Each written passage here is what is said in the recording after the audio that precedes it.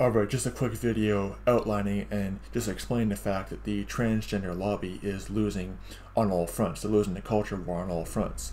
And this is why they get more and more rabid, because essentially normal people are waking up to their agenda. Normal people are waking up to the fact that the transgender lobby, it was never about rights or, you know, just acceptance. It's about basically forcing their ideology upon everybody else it's authoritarian.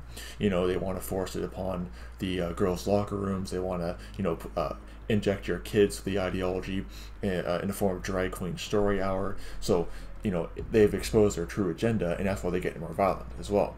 But the fact is, they're losing on all fronts, and they can't stand that. They can't stand the fact that while they still have enormous influence, they are losing their grip and you know control and mind games over society and you see more backlash to their agenda as well. You know, Drag Queen Story Hour is always faced by protest, and rightfully so. It's indoctrination of children. Uh, a lot of the uh, LGBT propaganda being injected on kids is getting rightful backlash. I mean, Disney obviously has learned, should have learned their lesson from when they opposed the bill banning sexualization of basically eight-year-olds you know. But that's the whole agenda of the LGBT lobby was to go after children. They've exposed that. Normal people woken up to that fact, and now they're losing on all fronts. You know, more laws have been passed. You know, essentially telling the transgender perverts to stay out of the girls' washroom.